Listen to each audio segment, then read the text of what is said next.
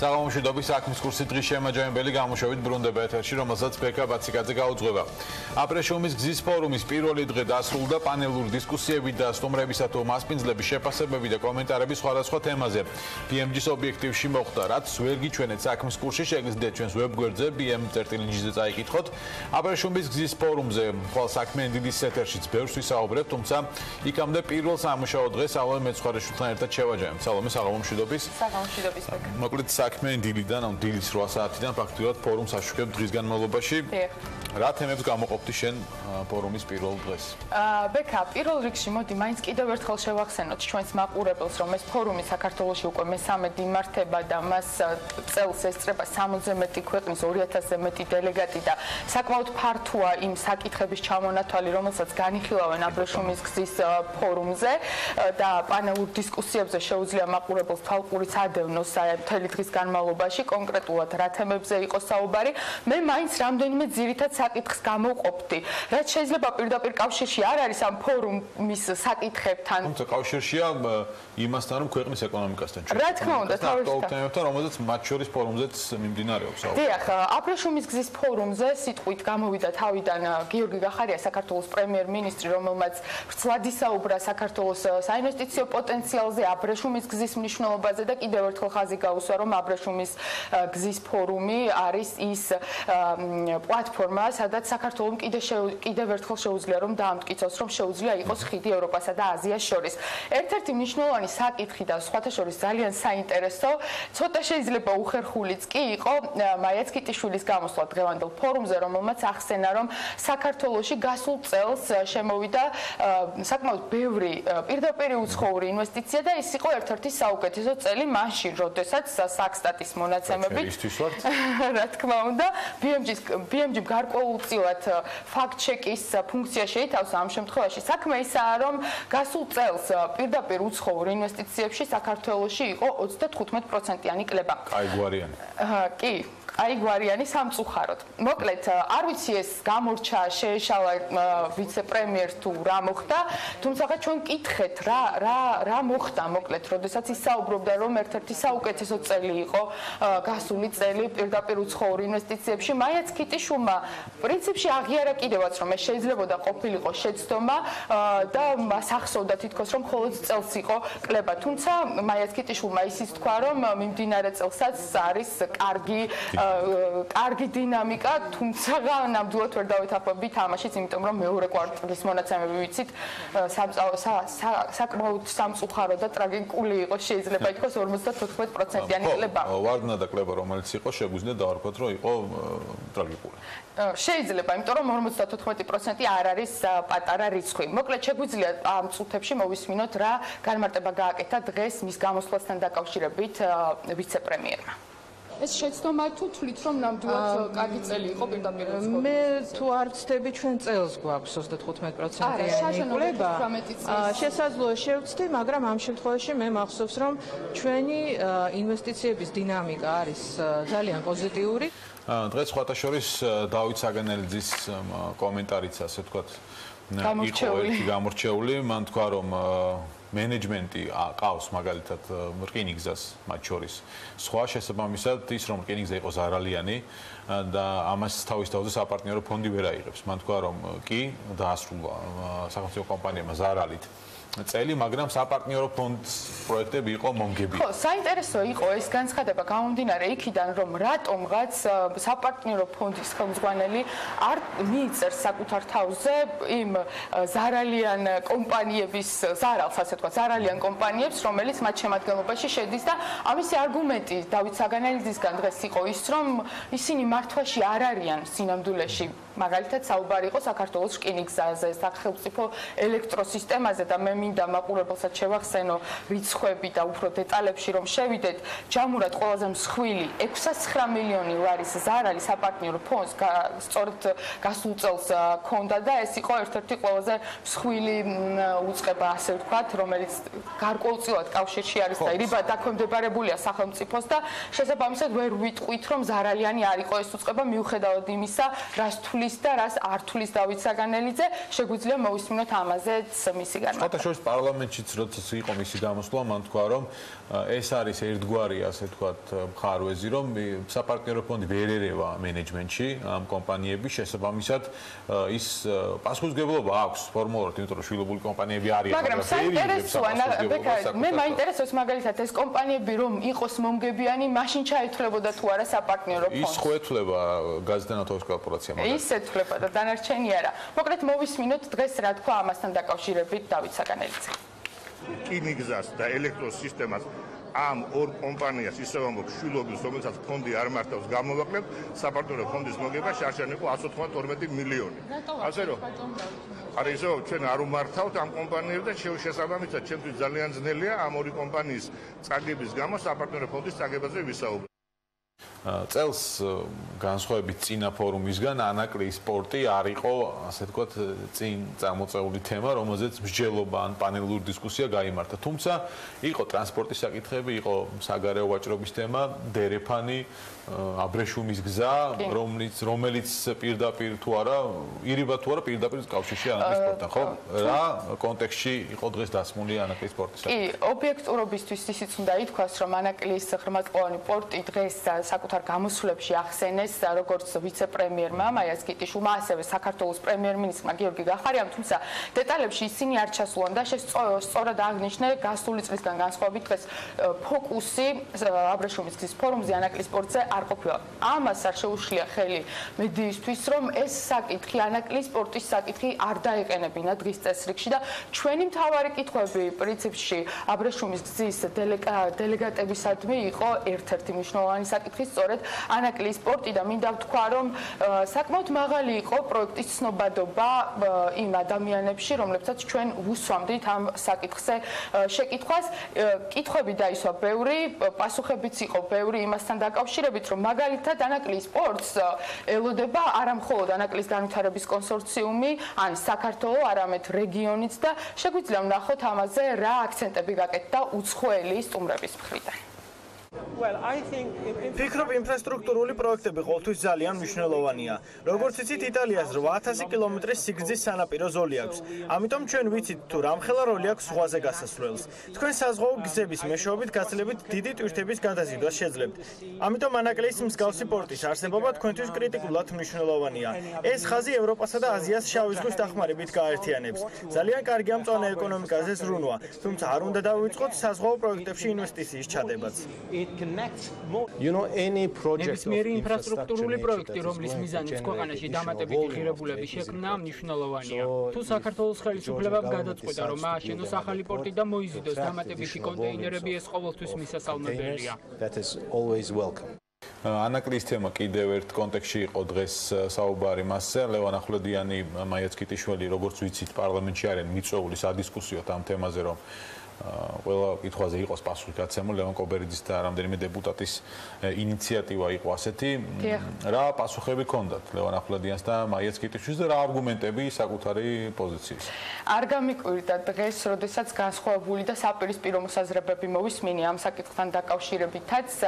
თუ ანაკლის განვითარების კონსორციუმი მზადაა რომ კიდევ ერთხელ მივიდეს პარლამენტში ამ თემაზე კიდევ ერთხელ ისაუბროს იმ დაბრკოლებებზე რომელიც მათი აზრით შეექმნა ანაკლის სპორტს და ის პრობლემ პრობლემების შესახებ რომლების გამოც ანაკლის განვითარების კონსორციუმი როგორც ამბობს ისინი ვერ იზიდავენ ახალ ინვესტორებს რადგანაც ამ ინვესტორებსაც აქვთ გარკვეული კითხვები ანაკლის განვითარების კონსორციუმი მოკლედ მზადაა რომ მივიდეს ამასთან ამ საკითხზე პარლამენტში. თუმცა განსხვავებული მოსაზრება აქვს საქართველოს ვიცე-პრემიერს ინფრასტრუქტურის მინისტრს მაიაც კიტიშვილს რომელიც ამბობს რომ ის არაერთხელ იყო ამ თემასთან დაკავშირებით საქართველოს პარლამენტში და აღარ თulis საჭიროთ რომ დამატებითი დებატები გამართოს ამ საკითხზე. თუმცა ისიც უნდა ვთქვა რომ ნათია თურნავამ შედარებით განსხვავებული პროპოზიცია დააფიქსირა. მან თქვა რომ ამ საკითხზე კიდევ ერთხელ იმშელებენ გუნდში და თუ საჭიროდ ჩათვლიან ისინი კვლავ მზად არიან რომ მივიდნენ პარლამენტში და კიდევ ერთხელ ისაუბრონ ანაკლის სპორტზე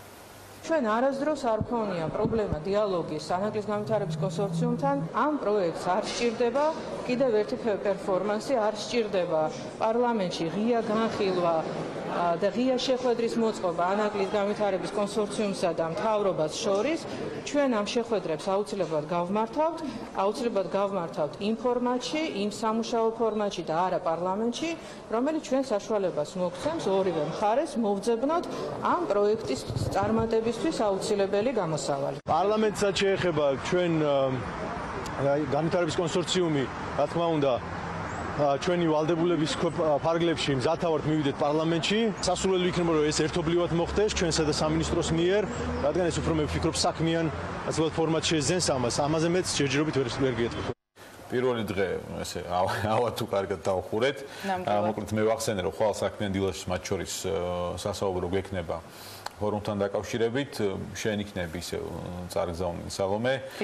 რას უნდა ელოდეს მაყურებელი დილიდან ხვალ ასე ვთქვათ რა ტიპის დღის წესრიგია რომელიც ჩვენ ინტერესის ობიექტივს მოექცევა? აა ბეკა ხვალ შედარებით მშვიდი დღეა გამომდინარე იქიდან რომ პირველი დღე უფრო მეტად დატვირთული იყო პანელური დისკუსიებით თუმცა ხვალაც რა თქმა უნდა გაგრძელდება სხვადასხვა თემაზე საუბარი მათ შორის საქართველოს საინვესტიციო პოტენციალზე ზოგადად ისევ აბრეშუმის გზის ახალი აბრეშუმის გზის პოტენციალზე იქნება საუბარი მე მაყურებელს ვეტყვი იმასაც, რომ ეს რაზეც ჩვენ ორი დღის განმავლობაში ვსაუბრობთ, არ არის ყველაფერი, რასაც ისინი უნდა ელოდონ აბრეშუმის გზის ფორუმიდან, იმიტომ რომ ჩვენ არაერთი ინტერვიუ ჩავწერეთ ჩვენი გუნდის წევრებმა იმ სტუმრებთან, რომლებიც ჩამოსული არიან საქართველოში, სწორედ აბრეშუმის გზის ფორუმთან დაკავშირებით და პირდებით კიდევ უფრო მეტ საინტერესო დეტალს და საინტერესო მოსაზრებებს უკვე უცხოელ სტუმრებთან დაკავშირებით. ერთგვარი მოთელოა, მოკლედ ეს ორი დღე ინფორმაციის მიწოდება, შემდეგ ანალიტიკისთვის არის დრო, რომელიც გამოყენებული იქნება შესაბამისად. მე ვახსენე დღის განმავლობაში ბევრი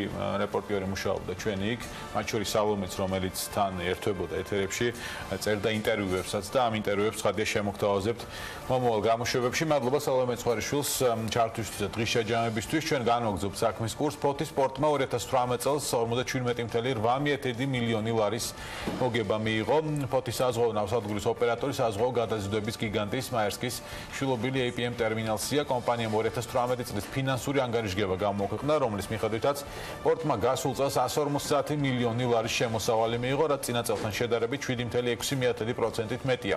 ამასთან ფინანსური ანგარიშგების მიხედვით პორტის აქტივების ღირებულება 503 მილიონ ლარს შეადგენს.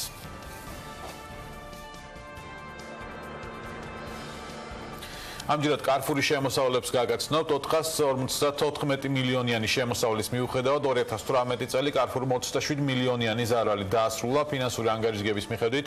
გასულ წელს Carrefour-ი 17 მილიონ მოხმარებელს მოემსახურა, თავად რეალიზებული პროდუქციის შესაძლებელი ღირებულება კი 2018 წელს 368 მილიონ ლარს შეადგენდა, რაც 2016 წელთან შედარებით 23%-ით მეტი იყო. კომპანიის ფინანსური ხარჯები კი 24.4 მილიონ ლარს შეადგენდა, მთლიანობაში ხარჯებმა კომპანიის კომპანიის შემოსავლებს 27 მილიონი ლარით გადააჭარბა. ნოემბრიდან ბუნებრივი აირის მოხმარებასთან დაკავშირებით რეგულაციები გამკაცრდება ეკონომიკის სამინისტროს ემეკთან ერთად უკვე მუშაობს აღნიშნულ კანონპროექტზე რა სანქციები დაეკისრება და რა სანქციების დაწესება დაგეგმილი რაზე იქნება პასუხისგებელი მოხმარებელი აღნიშნული ცვლილებების შემდეგ. კანონპროექტის განხილვა 15 ნოემბრამდე მოხდება და ცვლილებები ეტაპობრივად შევა ძალაში. ანუკა ჯოხაძე მიმუშავა თემაზე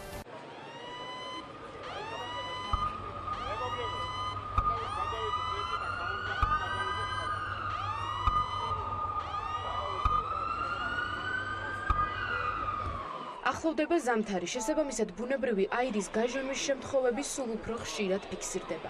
შესაბამისი უწყებები ამ ფაქტების გახშირებას მოსახლეობის დაუდევრობას უკავშირებენ. მხოლოდ 2019 წლის სექტემბერში თბილისის მასშტაბით საცხოვრებელ ბინებში 2918 უსტარულად დამონტაჟებული და აკრძალული ღია კამერიანი გაზის გამათბობელი და წყლის გამაცხელებელი ჩაიჭრა. როგორც აღმოჩნდა გაზის მომხმარებელთა უყურადღებობის კუთხით თბილისის მასშტაბით ყველაზე საშიშუბრებს შორის სახელდება გლდანი, სანზონა, ისანი, სამგორი, ჩუღურეთი და ვაზისუბანი. ეს ის უბნებია, სადაც ბოლო 9 თვის განმავლობაში ყველაზე მეტი კუსტარულად დამონტაჟებული გაზის დანადგარის დემონტაჟი დაფიქსირდა. ნოემბრიდან კი ამ მიმართულებით რეგულაციების გამკაცრება სწორედ ამ უბნებიდან დაიწყება. თბილისი ენერგიის განმარტებით დღეს ქვეყანაში ამ მიმართულებით მდგომარეობა შეიძლება ითქვას, რომ სავალალოა, რადგან ბინის მეპატრონეთა დიდმა ნაწილმა, სადაც გაზის დანადგარების დემონტაჟი მოხდა, ეს მოწყობილობები სახლებში ხელახლა დაამონტაჟა. მე მინდა ორ საკითხ ორ თემად გავყოთ, გავყო გაზით გამოწვეული უბედური შემთხვევები. ეს პირველი ეს არის გაჟონვის შედეგად დახურულ სივრცეში დაგროვილი გაზი, რომელიც ფეთქებაც აშიშია და 5-დან 15%-ამდე თუ სათავსოში დაგროვდა, იწვევს ძლიერ აფეთქებას და მეორე ეს არის არასწორად დამონტაჟებული ღია წვის კამერიანი დანადგარები, რომლებსაც ფართო გავრცელება აქვს დღესდღეობით ჩვენ საზოგადოებაში და რომელსაც ჩვენ ჭრით. ნოემბრიდან ბუნებრივი აირის მოხმარებასთან დაკავშირებით რეგულაციები გამკაცრდება. როგორც საქართველოს ენერგეტიკისა და წყალმომარაგების მარეგულირებელ ეროვნულ კომისიაში ამბობენ, ცვლილებები რამდენიმე მიმართულებით განხორციელდება. რეგულაციის თანახმად იმ შემთხვევაში თუ საცხოვრებელ ადგილას არსებული გაზდანადგარის ექსპლუატაცია დაუშვებელია და მომხმარებელი უარს აცხადებს გაზის დანადგარის დემონტაჟზე, ამ პროცესებში პოლიცია ჩაერთვება. ენერგოომბუდსმენი სალომე ვარდიაშვილის განმარტებით პოლიციის ჩართულობა მსგავსი შემთხვევებისას ნოემბრიდან ძალაში უკვე შევა. პირველი რაც ძალაში შევა და რასაც აქტიურად მიმართავენ მონიტორინგის განმახორციელებელი კომპანიები, აქ საუბარია ჯერჯერობით ლიცენზიად კომპანიაზე, იქნება პოლიციის ჩართულობა იმ შემთხვევაში, თუ მომხმარებელი ურჩეობს, მომხმარებელი არ უშვებს საცხოვრებელ ბინაში, ანუ ნებისმიერი ეჭვის შემთხვევაში ეს უკვე შესაძლებელი გახდება. ბოლოს უკვე მივიღებთ ინსპექტირების ორგანოებს, რომლებიც იქნებიან მართალია კერძო პირები, მაგრამ აუცილებლად ექნებათ ლიცენზია და აკრედიტაცია შესაბამისი სახელმწიფო ორგანიზაციის მხრიდან. აი სწორედ უკვე მათი საქმიანობა მოწესრიგდება იმ რეგლამენტით, რომელსაც 15 ნოემბრამდე თავრობა წარმოადგენს. ინსპექტირების მექანიზმებისა და სანქციების შემოღების შემდეგ გაზის მომხმარებლები აღნიშნული კანონპროექტის საფუძველზე ვალდებულები იქნებიან სახლებში გაზის დეტექტორები დაამონტაჟონ, რომელიც გაზის დაგროვების შემთხვევაში მომხმარებელს აფრთხილებს და ავტომატურად სახლში გაზის მიწოდებას კეტავს. ძალიან მნიშვნელოვანია, რომ ეს გაზის დეტექტორების დამონტაჟება არ იყოს დამატებითი ფინანსური ტვირთი აბონენტისთვის. ეს განცხადება საქართველოს ეკონომიკის მინისტრმა რამდენიმე დღის წინ გააკეთა. გაზის დეტექტორების დამონტაჟება სახლებში თავად მომხმარებლებს მოუწევთ. BMG შეეცადა გაერკვია რა დაუჯდებათ მომხმარებლებს აღნიშნული მოწყობილობის შეძენა. ფასები კი ელიავას ბაზრობაზე მოვიკითხეთ. ანუ დეტექტორი იყენდება სამზარეულოში, ჭრიდა უნდა იყოს დაშორებული 30 სანტიმეტრი, გასქურიდან მეტრანახევარი. ელვინტილი იყენდება გაზის მრისხველთან, დაკავშირებული უნდა იყოს ესენი ერთმანეთთან ჩვეულებრივად კაბელით. ფასები კომპლექტი ღირს 50 ლარი, ღირს 60 ლარიანის გვაქვს, გვაქვს 80 ლარიანის. გასუშვებთ. სიგნალი მისცა გაზის დეტექტორმა და ვინტილიც ჩაიგდო. რაც შეეხება სანქციების ნაწილს და ჯარიმების ოდენობას. ახალი რეგულაციების მიხედვით აკრძალული, კუსტარულად დამონტაჟებული გაზის დანადგარის აღმოჩენის შემთხვევაში ფიზიკური პირი 50 ლარით, ხოლო იურიდიული და საჯარო პირი 500 ლარით დაჯარიმდება. დარღვევის განმეორებით ჩადენა და შესაბამისი ორგანოს მიერ ჩახსნილი გაზის მოწყობილობის თვითნებური აღდგენა ფიზიკური პირების 100 ლარით, ხოლო იურიდიული პირისა და საჯარო დაწესებულების 1500 ლარის ოდენობით დაჯარიმებას გამოიწვევს. ენერგეტიკის სექტორი ყურადღების ცენტრში ბოლო დღეების საპარლამენტო ცხოვრებაშიც მოექცა დარგობრივი ეკონომიკის და ეკონომიკური პოლიტიკის კომიტეტმა ის კანონპროექტი განიხილა, რომელიც ჰიდრო მზისა და ქარის ენერგიების ათვისების ხელშეწყობის ეკონომიკის სამინისტრომ დაწერა. აღმოჩნდა, რომ აღმასრულებელ და საკანონმდებლო ხელისუფლებას ახალი ელექტროსადგურების მშენებლობის ტემპები არ მოსწონს. ამის მიზეზებზე საკომიტეტო განხილვებზე ბევრი არაფერი თქმულა დეპუტატები და ეკონომიკის მინისტრის მოადგილე ძირითადად იმაზე მსჯელობდნენ, რაც ჩაწერონ ახალ კანონში ისეთი, რომ ენერგეტიკაში ინვესტიციები bir gayet yardos. თემას დავით ჯალაღონი განაგზობს. დავით საღამომშვიდობის. მოგესალმები ბექა, დავიწყოთ იმით, რას გულისხმობს განახლებადი ენერგიების ხელშეწყობის შესახებ კანონის პროექტი. ეს არის მექანიზმების ერთობლიობა თუ რა ფინანსური გარანტიების ან შეთავაზებების მიღება შეიძლება ნებისმიერი ახალი ელექტროსადგურის ინვესტორს. ეს შეიძლება იყოს თითოეულ გაყიდულ კილოვატ-საათზე გარკვეული თანხის დამატება სახელმწიფოს მხრიდან ან კონკრეტულ პერიოდში ელექტროენერგიის გარანტირებულად შეძენა. ჯერჯერობით ასეთი გადაწყვეტილება კანონში მოცემული არ არის, თუმცა ეკონომიკის მინისტრის მოადგილემ განაცხადა, რომ კანონის მიღებიდან 12-ისთვის თავზე მხარდაჭერის სქემებზე ინვესტორებს ინფორმაცია ექნებათ. მანამდე დავით თვალობაიშვილმა დეპუტატებს გაუმხილა, რომ ქარის სადგურების ხელშეწყობის სქემა მთავრობას უკვე მოფიქრებული აქვს და ამ ეტაპზე მიმდინარე ქარის სამი სადგურის პროექტისთვის ასეთი პირობები შეთავაზება იგეგმება კიდეც. ქარისთვის შექმნილი წამახალისებელი მექანიზმი ეს რაც გულისხმობს 9 9 თვის განმავლობაში წლის განმავლობაში სახელმწიფო შეისყიდის გარანტირებულად გამომუშავებულ ელექტროენერგიას.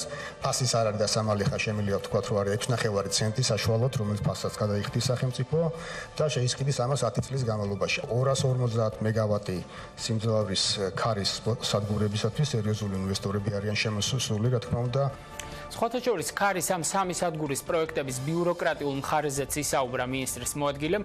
მისი ინფორმაციით, ეს სადგურები საჯარო და კერძო პარტნიორობის კანონის საფუძველზე ხორციელდება და ამ კუთხით მომუშავე სააგენტოსთან საკითხების შეთანხმებას დიდი დრო მიაქვს. საკმაოდ რთულად რთულ დიდი დრო ჭირდება პროექტების ბოლოში გასვლას ალბათ შეგაწუხებთ იმ იმ კუთხითაც რომ შეიძლება რაღაც უფრო ოპტიმიზაცია აუცილებელი გახდეს და შესაბამისი ნაკლებებით შეიძლება მოგვიწიოს შემოსვლა. თქვათ კარგად ბოლომდე კარგად არ მუშაობს მე პირდაპირ შემიძლია გითხრათ რა. ახლა კი პრობლემების შესახებ რაზეც მინისტრის მოადგილემ პარლამენტში ისაუბრა. მას შემდეგ რაც დეპუტატმა რევაზარველაძემ მთავრობას ახალი ელექტროსადგურების მშენებლობის ტემპები დაუწუნა, დავით თვალაბეიშვილმა აღიარა, რომ ეს გამოწვევა, მაგრამ მისი აზრით, საქმე უიმედოდ არ არის. ესების მშენებლობა დაბალი ტემპებით მიმდინარეობს, გეთახმებით გარკვეულწილად ეს ასე არის. მაგრამ ისიც მინდა თქვა რომ ის პროექტები სადაც გარკვეული პრობლემები აქვს ჰესებს ადგილობრივებთან ან სხვა გარემოძაცვითი პრობლემები ის ჩანს მას მედიაში იმაზე საუბრობენ მაგრამ დიდი უმრავლესობა პროექტების მიმდინარეობს წარმატებით გეგმა არსებობს პატრონებას მიყვებით ამ გეგმას და თუ არ აშენდა ჰესები ეს ამას არ განვიხილოთ უნდა აშენდეს. რო უნდა აშენდეს მეც მაგას ლაპარაკობ მაგრამ რო არ შენდება იმაშია საქმე რა არ შენდება ამის შესახებ ჩვენ არაერთხელ გვისაუბრია და წლის ბოლოს ისევ მოგვიწევს პროექტების მრავალჯერ გადაწეული დედლაინების დაზუსტება. მანამდე კი ისევ დავით თვალაბეიშვილისგან შეგვიძლია გავიგოთ რა პროექტებზე ამყარებს იმეც ხელისუფლება როცა იმპორტ დამოკიდებულების შემცირება და ქარისა და მზის სადგურებისთვის სარეზერვო სიმძლავრეების შექმნა სურს ამ ქვეყანაში უნდა აშენდეს დიდი რეზერვუარებიანი ჰიდროელექტროსადგურები გვაქვს სამი დიდი შესაძლებლობა ქვეყანაში, კიდევ ერთხელ ჩამოთვლით, ეს არის ნენსკრა, ეს არის ნამახვანი, რომელიც ორივე პროექტი დაძროულია და მიმდინარეობს სხვადასხვა ეტაპზე არიან ამათი შენებლობა და მე უნდა ესეც ხაზი უნდა გავუსვა, რომ მესამე პროექტი ხუდონის პროექტი ჩვენ ადრე თუ გვია უნდა დავძრათ. ოღონდ ისე უნდა გავაკეთოთ, გავლენა სოციალური სოციალური კუთხით და გარემოძიების კუთხით იყოს გამორიცხული. აი ეს სამი პროექტი უნდა გააკეთდეს. მართალია ეს არ არის ის შემოდგომა, როცა დიდი პროექტების ელექტროენერგიის მაჩვენებლებს დავითვლით, მაგრამ სამაგიეროდ იმპორტირებული რესურსის დაანგარიშება შეიძლება. ელექტროენერგეტიკული ბაზრის ოპერატორის მონაცემებით 2019 წლის სექტემბერში საქართველოს ელექტროენერგიის იმპორტი თითქმის 33%-ით გაიზარდა. ბექა. მადლობა დათო ჯალაღონიას და ქართული მოსაპირკეთებელი ქვის ფილები ამერიკის შეერთებულ შტატებში. კომპანია, რომელიც სრულად ქართულ ინვესტიციით შეიქმნა ქვეყნის ფარგლებს გარეთ, კერძოდ კი ნიუ-ჯერსიში საკუთარი პროდუქციის ექსპორტზე წევა საუბარია დიზაინ M Georgia-ზე, რომელიც ახლო მომავალში ექსპორტო ბაზრის გაფართოებას გეგმავს. დიზაინ M Georgia ამჟამად 20 სახეობის ფილას ამზადებს, მხოლოდ ქართულის რუბრიკის ფარგლებში საწარმოს ჩვენი ჟურნალისტი სალომე ჭიპაშვილი სტუმრობდა. холод ქართული სპონსორია Nova. 200 ქართული პროდუქტი Nova-სგან. Nova ქმნის ქართულს.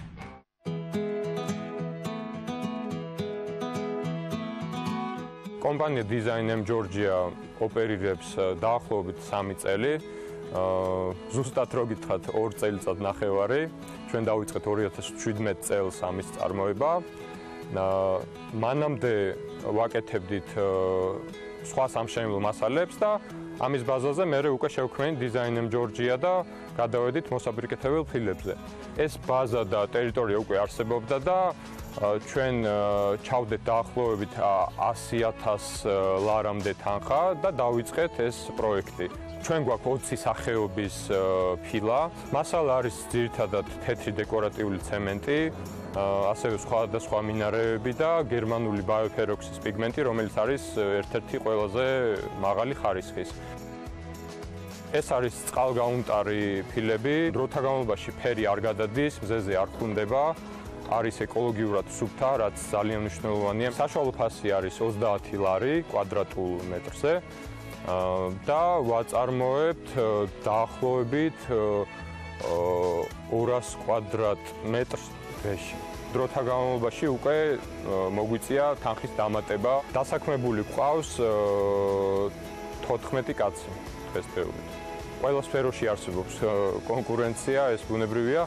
ჩვენ ყავს დაახლოებით, ანუ მე ვგულისხმობ ქართულ მწარმოებლებს რა. დაახლოებით 4-5 კონკურენტი. ჩვენი უპირატესობა არის ხარისხი, მიწოდების სერვისი გვაქვს ჩვენი, ანუ თბილისის მასშტაბებით გვაქვს უფასო მიწოდება. აა სერტიფიკატები როგორც ვახსენე, ანუ მაქსიმალურად ვიცავთ უსაფრთხოების წესებს, ხარისხს, ექსპორტზე ჩვენ გაგვაქვს ამერიკაში, ნიუ-ჯერსიში. რაც შეეხება სხვა ქვეყნებს, ევროპაზე გვაქვს კიდე გათვლილი გეგმაში, რომ გაუშვათ ჩვენი ფილები. ეს არის საფრანგეთი, ბელგია და შვეიცარია ამ ეტაპზე. ახლო მომავალში ჩვენ ვაპირებთ დავამატოთ ნატურალური ქვაც, მაგალითად მარმარილო, გრანიტი და ასე საქმის კურსი ამი დასრულებულია, მადლობა ყურადღებისთვის, ნახვამდის.